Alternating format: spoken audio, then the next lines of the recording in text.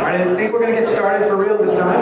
Uh, this gentleman, John Rusk, I uh, had a nice dinner with him last night. He came all the way from New Zealand to share with us Better Agile through Stealing. So let's uh, hear from John.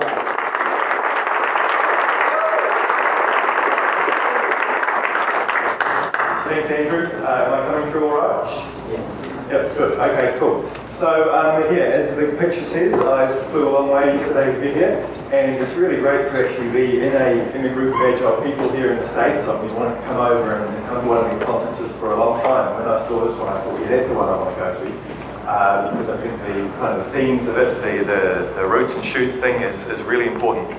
So how I want to hopefully contribute to this Roots and Shoots thing today is to talk about ideas that we can steal from various other fields, from business, psychology, economics, those sort of things, to help us both with the, the roots, the foundations of Agile, and also perhaps with some of the shoots, some of the, the new things that we can build on. Now I'm going to structure the talk today around the four points from the Agile Manifesto, which Alistair took us through earlier, except I'm not going to talk about one of them, the working software one. Oops, that was meant to cross out. Let's try that again. Working software one, I'm not going to be talking about that one today just because I haven't got anything to say and I haven't got enough time to say it, even if I had something. So we're going to rip into the other ones and we're going to try and tie it back a little bit to uh, what we were talking about this morning. As I was sitting there, especially in the panel discussion, I was thinking, hey, you know, that relates a little bit to this thing and that thing and the other thing. So without further ado, let's have a look at how at one of the areas that I've discovered that I think really helps us with responding to change over following a plan, or as, what was your term for it, Alistair? Attend to current reality. Attend to current reality, which is a great term, but I never got around to quickly putting it on my slide. So, one of the things that I've, I've stumbled across, and this presentation is essentially a bunch of things I've stumbled across over the past four or five years when I go, man, that's relevant to Agile, that, that could be helpful. And one of the things that really helps here is this thing called evidence-based management. Now, evidence-based management, it's the name of it is inspired by a thing called evidence-based medicine. Uh, if your doctor is as talkative as mine, he might have mentioned it to you. And the evidence-based medicine one basically starts off like this. We're not going to treat this particular illness the same way it's been treated for the past 50 years just because that's the way it's always been done. Instead, we're going to say, is the traditional treatment actually better than doing nothing? Is the traditional treatment better than new treatments? And so evidence-based management comes and applies some of that to business management. And it also takes it much further. We're only going to be able to scratch the surface of it today. We're going to talk about how it's relevant to uh, responding to change over following a plan. So they, in the evidence-based management community, they have a manifesto that is a, is a little bit like ours, but it's a bit more wordy. This is copy and pasted right off their website, and we're not going to talk about all of it today. I, just, I guess I wanted to put it up there in part to draw the parallel with our own manifesto, and in part to illustrate that I'm only going to really talk today about these two here in the middle. And I would have liked to have talked about some of the others because there's, there's lots of relevance in lots of different parts of it. The first one there, number two that I'd like to talk about, is getting the best evidence and using it to guide actions. And we can see that on two levels in Agile. We see it within a project, which we'll talk about some more in a minute. But we also see it in the sense that Alistair was talking about this morning, when he went round when he was working for IBM and looked at all those different project teams and said what is and isn't working here.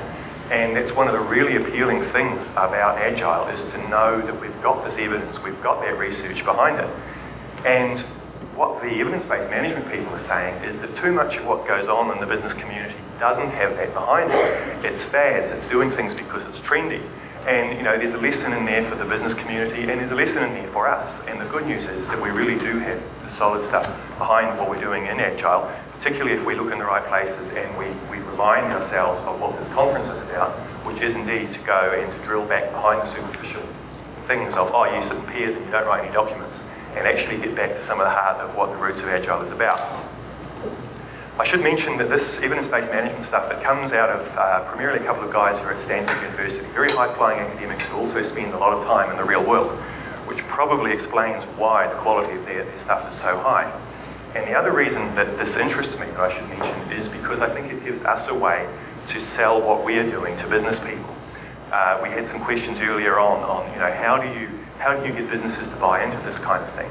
And here is something that comes out of the business community here is a bunch of business people who being evidence-based actually prove that these things, these five things on the slide, really, really matter. The first one is basically our trust, or our personal safety, should I say, as per Crystal.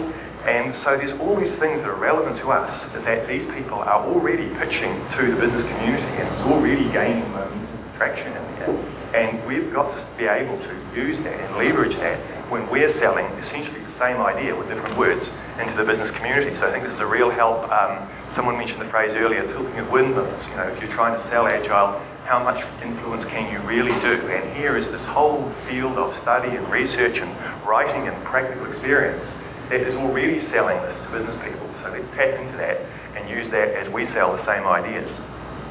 The other one I wanted to talk about, the second one here, uh, sorry, third one, is treat your organisation as an unfinished prototype. Learn by doing. And again, there's this complete independent discovery of our notion of feedback, our notion of learning as we go. And in fact, I really like the way they phrase it.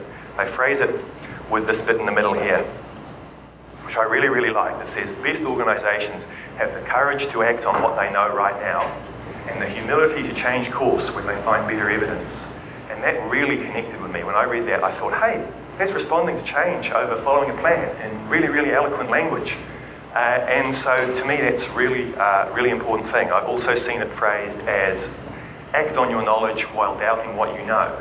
And it captures, in a way, the real tension that we have when we try and pitch Agile to business people, because we're effectively asking them to do this. We're asking them to get started on a project when they do not have a 3,000 page spec, when we're, we're telling them that we're going to change our minds later. And effectively what this is saying is this is what those very same businesses should be doing, not just in software, but in everything they do. So certainly really encourage us to tap into that, both in terms of informing our own understanding of this and in terms of selling what we're doing in Agile. The other main point, this is one that I think connected a lot with some of what we were talking about earlier, was individuals and their interactions and some of the stuff that feeds into this from all sorts of other fields.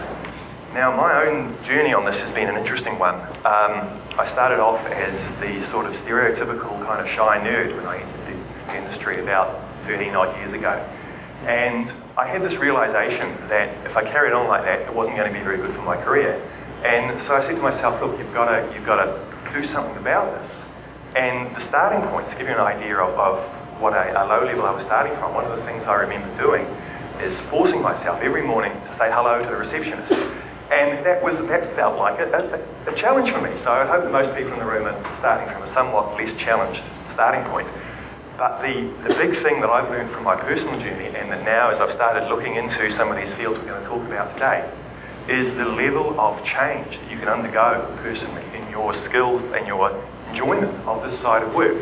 There's a, a very similar story to, to mine of a, a university uh, professor who had the same realization that I did of this is going to hold back my career. And he said, because basically he was essentially a, a real introvert. He said, this is going to get in my way.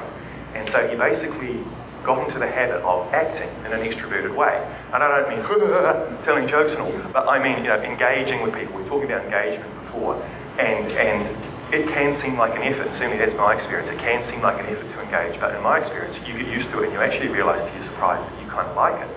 Uh, and this, this story of this guy, you know, he went on to become indistinguishable from an extrovert. Now, on, the inside, maybe he, he still felt like, in fact, he did still feel like he hadn't completely changed. But for all practical purposes, had. And we have this notion in terms of individuals and interactions that so much of what happens in this area is simply ingrained in people that either you have soft skills or you don't. You have people skills or you don't. We have so much talking like this. We have personality profiling which kind of again encourages this thought that either you have these skills or you don't. And my experience and my, is that you can change this stuff so much through practice. Now, it's not going to happen overnight. To get to that in a minute. And so what I wanted to discover as I started to look into some of these fields, and Alison mentioned earlier, we should be studying psychology. And as best I can, as someone with a full-time job as a, as a nerd, I have tried to study some of these things in, in my spare time. And I've been really encouraged to find that this notion of uh, these key skills and aspects of our personality, I'm very pleased to discover that they are far more changeable than I had ever thought they were, and probably most, you know, most people in the IT probably don't realise how changeable these things are.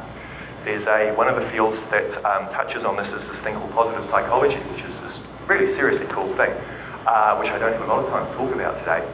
But one of the, the foundation books in that is a thing called learned optimism, how you can permanently change your level of optimism. Uh, and, and you're like, wow, you know, who thought you could do that? You know, before that book was written, who thought that that was a, a, valid and, useful thing for a person to do?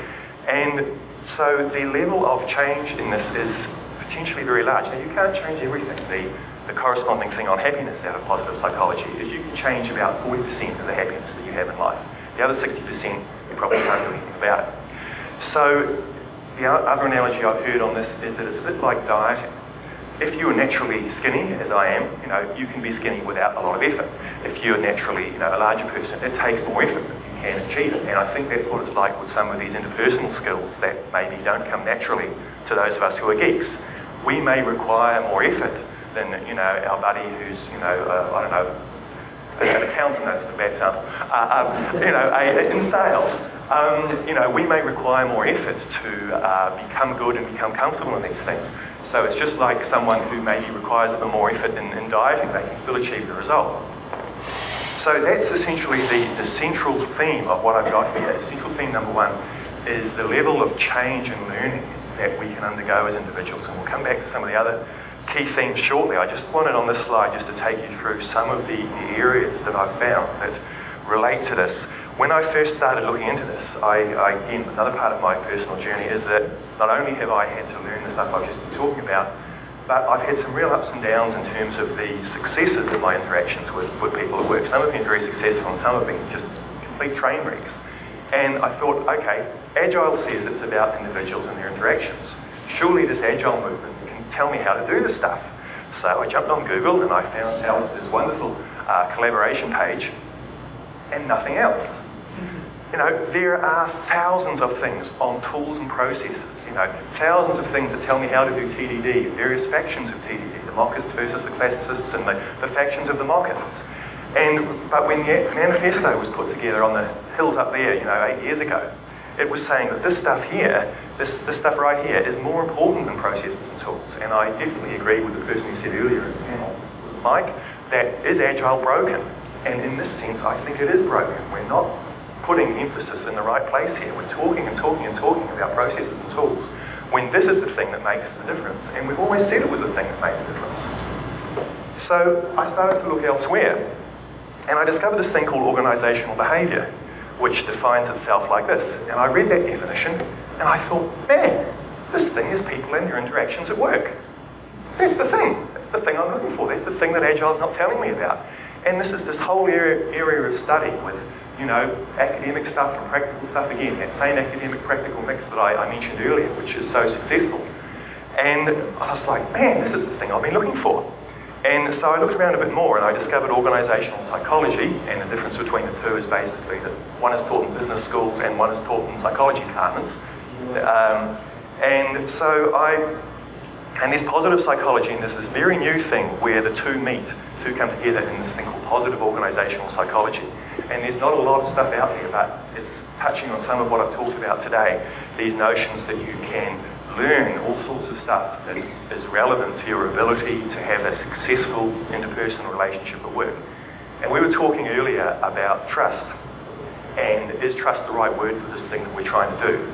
And to me, I was sitting here thinking, whatever it is, it's this thing that, that particularly this bit is about, and some of these other things here, political skill, it's about interacting successfully with people around us. So sometimes it is building trust, sometimes it's influ influencing them before we've had a chance to build trust. And it's all these combinations of things. And so this political skill at work is a, is a fascinating thing. Now normally political has some kind of negative connotation to it. But basically what these guys are talking about is kind of the, the good side of the force, so to speak. And the idea that you can learn how to influence people, you know, for good at work. And the interesting thing that they teach, and I was relieved to find it because I want to tell you guys this is true, and um, so I had to find out whether it was, is that you can learn this stuff, this business of being able to influence colleagues or managers more successfully than you do now, to sell an idea or to interact, is by and large a learnable skill. And yet, so much of the industry, including the part of the industry that we're in, is not necessarily investing enough effort in this. You know, it's perfectly normal for geeks to talk about doing their Microsoft certifications or their Java certifications, but whoever talks about learning this stuff? Who even knows that you can learn this stuff? Um, you know, if you don't think you can learn it, of course you're not going to talk about it. Of course you're not going to try. And so one of the things that I hope comes out of, of this talk here today is that when we go back to our, our various places of work, you know, there'll be people sitting on adjacent desks to you who are like I was 10 or 15 years ago, geeks who think they can't do this and who don't know it's learnable. And if we can take some of this message back to them, I think that could be a really, really powerful thing. Now, don't go up to someone and say, hey, this guy talked about individuals and, and their interactions. You should learn that. Um, you know, I have got far enough to learn that the, the full frontal assault persuasion is seldom successful. But you know, what does work is gentle nudges over a long period of time. And I think we, as a group, I'd love to see us giving some of those nudges uh, to try and introduce this idea that this stuff is learnable and try as a group to understand some of the ways that it can be learnt. This was my sort of summary slide for this area, and I've talked about it being important. I think in a way it's obvious. Certainly there is a lot of research from outside our field that again backs up how important this is. There's a, um, a case study done in a pharmaceutical company of um, which teams were the most successful ones. And the one that stood out, they said, well, what's the difference about this team? And it was the richness of their connections, both to each other and to people outside their team and outside their organisation. So this stuff has a, a provable effect on, on you know, outcomes. It's learnable, as we said. And I want to talk briefly about the ways of learning it. So I'm just going to figure out when I'm supposed to be stopping talking here because I've lost track of it. Cool. Um, there's this guy who's done a lot of research on expertise. What does it become? What does it take to become an expert in tennis, in some other sport, in uh, you know uh, computer programming, or in interpersonal interaction? And what he's found is this uh, several key notions. The one I'm going to single out today is a thing called deliberate practice. And basically that means not just accumulating a lot of years of experience under the belt, but learning. So if I go down to a tennis court and I do the same bad serve 20 times in a row, I haven't learned. If I do my bad serve the first time and I reflect on how I could do it better and I do it slightly better and I keep doing that cycle, that's deliberate practice, or at least in my naive understanding of it, that's deliberate practice. And the thing he finds with this is that it does take time. The same research says it takes 10 years to become an expert. And you know, I've talked a bit about my journey with this, and I'm not an expert on this yet, but certainly it's taken me a number of years. So none of this, this is not a thing you take away and shebang, it's wonderful. This is a process you take away, you can start to put into place, and it will bear fruit over the course of months and years. Um, that's what I want to say about deliberate practice. There was something else in there. If I left hold on that, ask me a question at the end. The other thing that really appealed to me in this was the notion of um, what's called authentic leadership. A lot of what I've been looking at actually comes out of the, the leadership field. People don't seem to be talking as if ordinary people, people like myself who are not managers, ordinary people would want to learn this stuff. And so you have to read leadership books and then think how you apply it yourself, even though you're not officially a leader. And, and that's, I think, a failing of, of not just our group, but industry at large, but also for Agile. You know, we say empower the team, let them make decisions, and then we reserve the leadership training for the managers. We should be giving help to people, having empowered them to make decisions. How do they work together more successfully to actually come to those decisions? You put three architects in a room, you get five possible decisions, and no one can agree and you know egos get in the way and this sort of thing. And so much of this learnable skill is how to take those potentially conflicts, laden things, those things with egos in the way, and turn them into successful interactions. So I was mentioning um, authenticity, which comes from, from the leadership stuff. When I first started trying to learn this uh, some time ago, I read a book on you know how to be a leader in a technical field. And I felt like it was saying, John, you're like this, and good technical leaders, well, they're like that. And I'm like, well, you know, it was sort of almost offensive to suggest I should have to have some kind of personality transplant. And it, it seemed unlikely to succeed. And, and, it really put me off. And I actually uh, said, well, I don't want to be a technical leader then. And the interesting thing that comes out of the management research, completely independent from, from Agile, is that the best managers, you know, this managers in general, are not trying to conform to some stereotype of who a manager is. They are being themselves more skillfully. And this, again, is this learnable skill, uh, authentic leadership. And it takes the pressure off. This whole notion that we can learn to do this stuff better. If you say to yourself, and it's true, the goal here is to simply be a more skillful version of myself, the, the pressure's off. You're not trying to give yourself a personality transplant. You're not trying to conform to something that's completely different. You're actually trying to do the thing that will work for you and happens to be the best way to lead and motivate anyway. The other interesting thing about this authenticity is because you're being yourself, it's very consistent with building trust. There's this really interesting relationship between political skill, which is uh, you know, uh, influence and manipulation for good causes in nice ways, uh, and how that relates to authenticity. So the political skill can help you get a, a quick win in terms of uh, influencing people. But if they work with you for six months and they realize that you were not being honest with them when you were influencing them, you've undermined your authenticity. If you have both, you have this incredibly good combination for building the trust early and sustaining it going forward. And so that's a really interesting discussion, which we probably don't have super duper amounts of time to get into today. One thing I should stress on this stuff, and I've sort of touched on a little bit, this is not about, let's get a bit of colour in that. This is not about the people who are on your org chart. This is about the stuff that happens to the people who are not even on the org chart, the people who sit cutting code, the people who sit at their desks and don't talk to their developers, fellow developers, the people who sit at their desks and talk too much and push their opinions around. And I've been in both those camps and I'm trying to learn to step out of them into a, a more positive territory. So this is, this is not org chart managementy stuff. This is about empowering the teams. This is not also necessarily about training courses. The great thing about this deliberate practice stuff is that you can learn it by yourself. Okay, it's great to have a buddy in your organisation you can go to and say, man, that meeting went really badly. You know, um, can you give me some hints on, on how I might do better? But that can be really intimidating. You know, I know I was too scared to do that. But the great thing is that you can apply deliberate practice by yourself. One of the, the interesting stories I came across was a CEO, 35 years old, in charge of this big company, and he got there on the back of his interpersonal skills. And they said, how did you do that? And he said, how did you build those skills? And he said, every meeting, when I came out of the meeting, I'd come back to my desk, I'd get a notebook, and I'd write down essentially lessons learned from that meeting in terms of personal interaction. Now, he basically never read this notebook, but it was a mini personal kind of retrospective thing, like we do in Agile, you know, the end of iterations. This was his little thing after each meeting. And that took him to a point where he was in, you know, this very important, successful position on the back of his interpersonal skills, which he had built that way.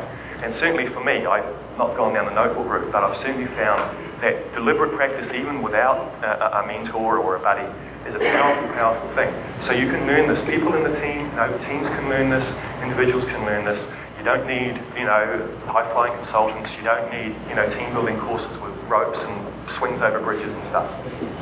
Uh, so, and the other thing is that it does take, take time in this notion of building expertise. There's an element of, of time and patience involved, but there's a great, great payoff at the end. So in the interest of time, what I'm going to do on the, the remaining point, which I want to talk about, so we're going to move on from that now. We'll hopefully come back to it in the questions at the end, because I think it was very relevant to the, the panel discussion earlier. I'm going to talk briefly, very, very briefly, about some stuff that relate to uh, contracts and collaboration. I'm going to go very quickly through these three things because they're each written up on my website, so uh, I can cheat and not tell you today, and you can Google them and get everything that I would say if I had more time. First one is this thing called principled negotiation. Has anyone, anyone read the book Getting to Yes? Cool. Not a lot of hands went up. If you haven't read that book, you should really, really, really read it. It's, it's transformed my thinking in terms of interacting with customers and colleagues, not just about the contract. Uh, Book one more time. Getting to yes? Yeah. I, I, I, don't have references for all this stuff in the presentation because um, I've been busy. So what I'm going to suggest later on is that if you want this stuff, you email me and I will eventually post on my blog references for all of this. Because what's important to me in this is not to just speak from my own experience, not to just have some wild idea here, but to be able to have this backed up with, with research and stuff. So I certainly do want to make available to you the, the stuff that I found that backs this up. So um, yeah, I'll, I'll get you those details. Principled negotiation is this wonderful tool for turning negotiation about anything from an adversarial thing into a productive thing, the kind of thing we want on an agile project. And you, it can apply to contracts, it can apply to scope, and it can apply to choosing your process. Alistair mentioned earlier uh, situationally specific processes as part of the Declaration of Interdependence for me, my mental framework on how to do a situationally specific process comes out of the work on principled negotiation. And all that stuff I just mentioned is on my site. The book is better, it's got a whole lot more too. QBS, Quality-Based Selection, otherwise known as Qualifications-Based Selection. I work in a company that builds software for other companies. And we have this ongoing challenge of pricing being uh, you know, decided upon early and being involved in making choices as to which company gets to do the work. And I did a bit of Googling and I came across something from here in the United States that was fascinating to me. If I work in a federal uh, government agency and I want to get an engineer or an architect to do some design work for me, I can make that a competitive tender. I can put it out to lots of different firms. I can ask them whatever I like, except the price. I have to choose them on their quality. They have to compete on their quality. And only once I've found my preferred one and my then allowed to start negotiating price. If we can't agree on price, I can go to my second choice.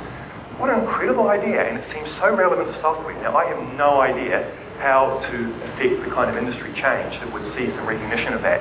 But out of the panel this, you know, this morning, we were saying contracts are a big issue.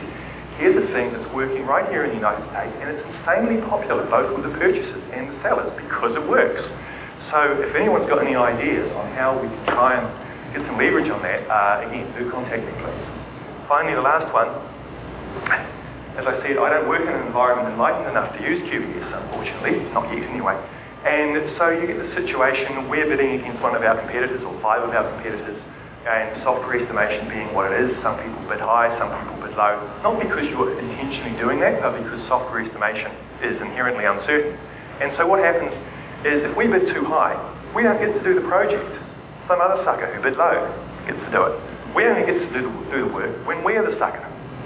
And, and so I was having a discussion with this, with someone who is quite justifiably a, a, a world expert in software, and we were talking about this idea, but we couldn't nail it down. We couldn't assure ourselves whether it was a real phenomenon or not. And after a few months of thinking, there's got to be an answer to this, I had another try on Google, and eventually I found this thing called the winner's curse. And it's been known in economics for, I think it's 205 years. And here's this thing that is so relevant to so much pain that we have in software development. It's been known for 205 years, and we haven't, by and large, reached out and grabbed it. There's one excellent paper from the Simula Research Lab in Norway on this. They did a wonderful experiment demonstrating it applying exactly to software. But apart from that, nothing. So one of the reasons I mention that is it illustrates my broader point of reaching out to the various things around, all these different things that, that exist in, in all these different fields, and reaching out and doing them. And this idea that this, this relevant thing that for 205 years we've missed it uh, really reinforces the point, the value of reaching out and looking at these things. And particularly for me around this point here, I think there's some real, real emphasis we can do in that space. A couple of bonus points from today. Uh, we mentioned how evidence-based management applies to the history of Crystal, and it's also essentially telling businesses that they should be situationally specific, which is exactly what we're telling them through the Declaration of Interdependence. Something I've actually cut from my presentation uh, was some stuff about the longer-term view. I've got involved with, um, in various ways, collaborating with people who come out of the uh, Defence Department here in the United States on a thing called earned value, and come up with this kind of hybrid thing, which is as much of their rigour as I could I could sort of stand as an agilist and as much of our lightness as I could shove in there. And it turned out to be a very light thing that's still backed by some, some rigour and stuff. So again, that's completely written up on my website. Uh, I've got the version for agilists and the version for people from the traditional uh, DoD background, uh, essentially presenting the same topic. And that's a great way to do some of this longer term view stuff that, that Alistair was talking about earlier. Finally, this point popped into my head during the, um, during the panel discussion. We're talking about how do we build this thing called trust, or whatever it is that it's not trust, it's this thing that we want. We know what it is, even if trust isn't the right word. And to me, those are the ingredients. Build political skill, be authentic, and it takes time. And I've essentially covered that earlier, but for me, that's this wonderful formula that helps to answer some of this, this thing. And if you can get the early version of it, the bit where they actually don't trust you yet, but you're influencing them to act in a trusting way. You can get the, the later version of it when you've been authentic for six months so they know you're brilliant and they love you. And that kind of combination in there I think is really, really powerful. So to wrap up, I guess I want to issue a bit of a call to action here. I'm very, very interested in seeing us, both as a group and the Agile you know, community at large, start to make some connections with the outside. When I was doing the earned value stuff, you know, I, I interacted with people from outside our community. It worked really, really well. So if you are interested in that, please, please get in touch with me. I'm really interested in people who have, you know, either new fields or interests in, in these fields. Other thing we need to be doing is influencing inside the Agile community. You know, there was only 17 people eight years ago when we into the Agile Manifesto, and, and that spread out and influenced a lot of people. We've got, I don't know what it is, 100 in the room or something today. Potential for us to influence and to sell some of these ideas is huge, so I'd really like to see us do that. I have basically no idea how, but great faith in the, in the value of community and in the, in the Agile community. So if you would like to get into that, the simplest thing that could possibly work is email me and I'll try and keep us in touch. I'm not sure that uh, necessarily my email address is the right long-term communication mechanism for, for talking about these topics, but it's the easiest thing that we can do right now and I really, really want to hear from you both because I think this is really important and because I live 8,000 miles away and it gets a bit lonely over there. So I don't think we've really got too much time for questions, um, although of course, you know, this, in my mind at least, raises a lot of questions, and so I'd certainly love to talk to people afterwards. I'm just going to check time. When are you coming on, Lee? Now, right? Five minutes. Five minutes. Okay, we've got five minutes. Let's take uh, a little bit of, do a little brainstorm of questions. I'm going to jot them down here and then I'm going to answer them all in one go if I can. It's a question, it's a question backlog. Oh, okay. Um, I'll introduce this by way of a very brief story. Yeah. Many decades ago, when I was in high school, they had a literary magazine, and a bunch of uh, youthful, rebellious kids decided to come up with an alternative to it called the Cro-Magnon Journal. And uh, one of the papers they published in the Cro-Magnon Journal was the Cro-Magnon Scientific Method. And it went something like this, conclusion and then look around for enough evidence to support it. And I'm curious as to how evidence-based management and its role in Agile differs from the Cro-Magnon scientific method. In that, yeah. The question is uh, phrasing the notion of looking around for, um, have I looked around for evidence to, to support my hypothesis? Cool. Um, I will answer that straight away. I know I said I was going to write down the question, but I'll answer that one straight away, otherwise I'll forget. Um, on one sense, it's a really helpful thing, no matter how, no, matter how we found it. On the other sense, as it happens, I was looking at the guy who, one of the key guys behind it, is also very big in the other fields I had on my other slide, and I actually found through that. So it's like, I just stumbled across this thing. I thought, what is this thing? I thought, gee, I recognize those ideas. So I guess, you know, I, didn't set out to put together a presentation on this, and you know, essentially I had most of the personal stuff, I was a bit light on before I, I thought, man, you know, this might make an agile root stuff uh, presentation. But the other stuff, um, particularly the ones I cut a bit short, I've been accumulating over quite a few years. So I don't think we need to be afraid that we're being shallow here in um, scrambling around for things to prove a point. I think we, instead, we need to see this as being open-minded enough to learn from it and opportunistic enough to leverage the stuff, particularly in the people and their interactions where we've had a gap uh, in what we're doing. Does that answer the question? Yeah, could you, can you tie evidence-based management just a little bit more into Agile? Into Agile. It doesn't say be agile, right? It says get started and learn as you go. It says change and evolve. It says um, promote uh, what else it calls personal safety, which is essentially the ability to bring bad news to your manager. So in other words, create a culture where it's not just the brave people in this room, as, um, as someone was saying earlier, who are able to say, hey manager, this project isn't working. Create a culture where everyone can say that. So even evidence-based management says these things, and they overlap with what we're saying. That's, that's essentially the linkage. Thank you. thinking about what you said about individuals and interactions and getting the positive organizational psychology. Yeah. And I was thinking about some of the practices that are really common, popular in Agile development, like stand-ups and retrospectives and things. Could it be that these things work, you know, like apply to the shoe level because they can steal from some of these properties, but then now once you kind of take it to this other level, you realize there's a whole lot of other techniques that you could use. Yes, certainly I'm very conscious of the latter. Was, is standard agile techniques like uh, stand-ups essentially giving us a, a de facto way to do some of these things that I've been learning about in the people interaction stuff. Maybe sometimes. Um, I think the thing that struck me is, is a whole lot more that we want to know in that, you know, Agile couldn't tell me how to have a successful whiteboard discussion with an architect who completely disagreed with me. And, um, and successful is not I get my way. That's part of, that's part of the, the, the thing here. Success is we get a good outcome. And so, to me, almost in a way, the latter is more interesting. I don't see huge linkages between our standard practices and what this is teaching.